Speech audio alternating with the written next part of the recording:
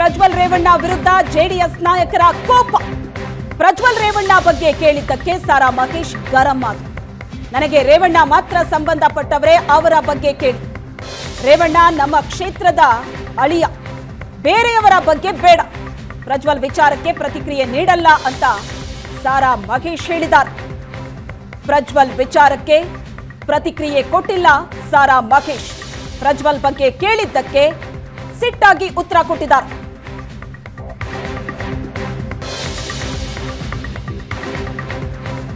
ನೋಡಿ ನನ್ನ ನನ್ನ ನನ್ನ ಅವತ್ತಿನಿಂದ ನಂದು ಒಂದೇ ಸ್ಟ್ಯಾಂಡ್ಸ್ ರೇವಣ್ಣವ್ರ ವಿಚಾರ ಮಾತ್ರ ನಮ್ಮ ಪಕ್ಷದ ನಾಯಕರು ನಮ್ಮೂರು ನಳಿಯ ನನ್ನ ತಾಲೂಕಿನವರು ಅವ್ರ ವಿಚಾರದಲ್ಲಿ ಮಾತ್ರ ನನಗೆ ಕೇಳಿ ನನಗೆ ಗೊತ್ತಿರೋಷ್ಟು ಹೇಳ್ತೀನಿ. ಇನ್ನು ಬೇರೆ ವಿಚಾರ ನಂಗೆ ಗೊತ್ತಿಲ್ಲ.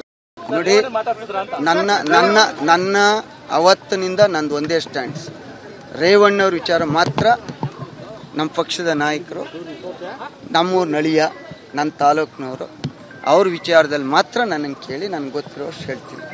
ಇನ್ನು ಬೇರೆ ವಿಚಾರ ನಂಗೆ ಗೊತ್ತಿಲ್ಲ. ನೋಡಿ, ನನ್ನ ನನ್ನ ನನ್ನ ಅವತ್ತು ರೇವಣ್ಣ ಜೈಲಿನಿಂದ ಹೊರಗಡೆ ಬಂದಿದ್ದಾರೆ. ಹೊರಗಡೆ ಬರ್ತಾ ಇದ್ದಂತೆ ಸಾರಾ ಮಹೇಶ್ ಕೊಟ್ಟಂತಹ ಪ್ರತಿಕ್ರಿಯೆ ಇದು. ರೇವಣ್ಣ ಅರೆಸ್ಟ್, ರಾಜಕೀಯ ಪಿತೂರಿ ಅಂತ ಹೇಳಿದ್ದಾರೆ. ರಾಜಕೀಯ ಪಿತೂರಿ ನಡೆದಿರೋದು ಜನರಿಗೂ ಕೂಡ ಗೊತ್ತಾಗಿದೆ. ಇನ್ನು ಮಾಧ್ಯಮದವರು ಕೇಳದಂತ ಪ್ರಶ್ನೆ, ಪ್ರಜ್ವಲ್ ವಿಚಾರಕ್ಕೆ ಪ್ರಶ್ನೆ ಕೇಳಿದಾಗ ಸಿಡಿಮಿಡಿಗೊಂಡಿದ್ದಾರೆ. ರೇವಣ್ಣ ಮಾತ್ರ ನನಗೆ ಸಂಬಂಧಪಟ್ಟವರು ಪ್ರಜ್ವಲ್ ಬಗ್ಗೆ ನನ್ನ ಹತ್ರ ಯಾವ ಪ್ರಶ್ನೆನೂ ಕೇಳಬೇಡಿ, ಯಾವ ಉತ್ತರವನ್ನು ಕೊಡೋದಿಲ್ಲ ಅಂತ ನೇರವಾಗಿ ಹೇಳಿದ